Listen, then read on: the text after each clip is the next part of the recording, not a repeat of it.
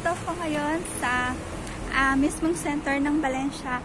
And kailangan kong mag magpadala sa money transfer sa money remittance. So andito ako ngayon sa sentro.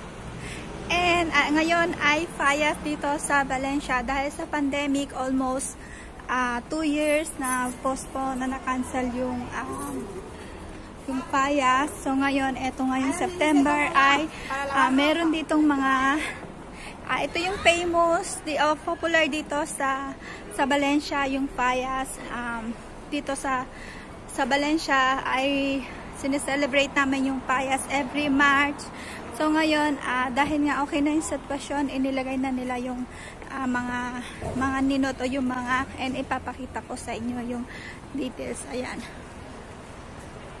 Kita nyo, yung mga street dito ay halos uh, lahat ng every corner ng street ay may mga nakatayong mga ganyan.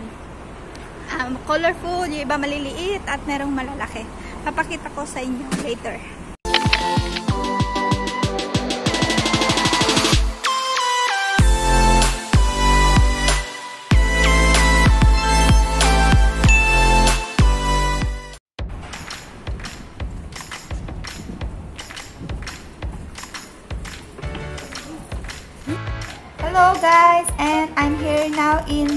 Chino or we call in Calle Jerusalem.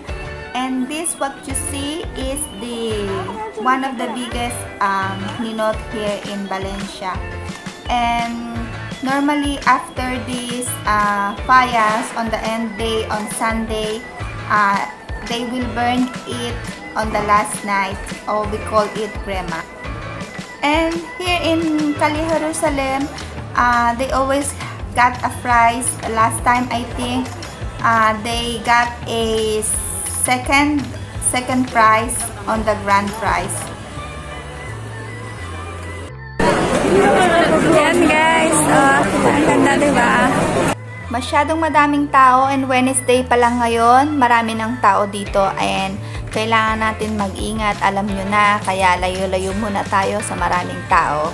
Punta tayo sa kabila Maraming mga ano dito, pero tingnan natin. Ikot tayo sa kabila.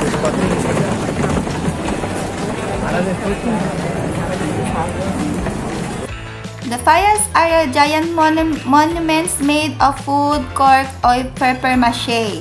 These single figures that compose these monuments are called ninots.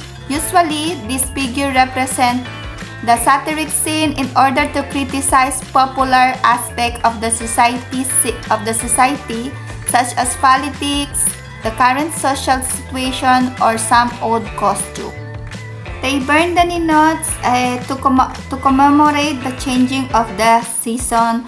Uh, normally, we celebrate on March, start from March 15 to March 19 on the Father's Day or the Saint Joseph Day.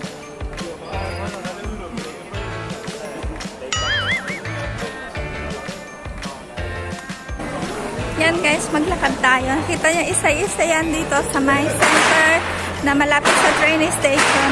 Sarado yung mga Chinese store na binibilhan ko. Ah, mag-withdraw lang ako ng pera dahil wala akong pera. Daming tao, maraming mga market. Yan makikita.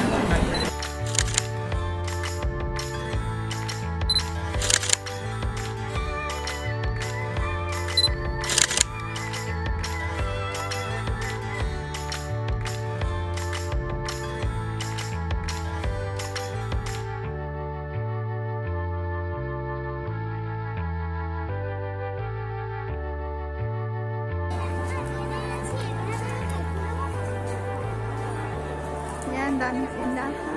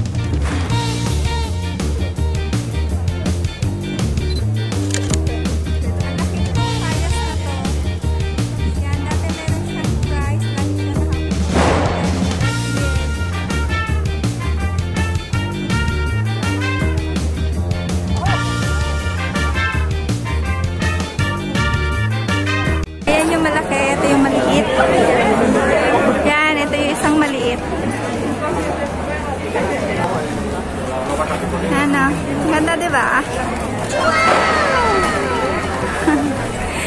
Andito ako ngayon sa Barrio Chino na tinatawag. Dito ko yung ah, place kung saan may mga, dito ako bumibili ng mga, dito ako bumibili ng mga Filipino food. Yan, ng mga Pilipino na vegetable. ah, wala kasing Filipino store dito. Meron lang ah, Chinese store. May mga tinitinda din silang mga ah, Filipino goods. Kaya mamaya dadaan ako doon. Okay guys, papasok lang ako sa money remittance. Ang engay. Tinawagan ko yung pamangking ko. Sabi ko, samahan niya akong magala para may taga-picture ako.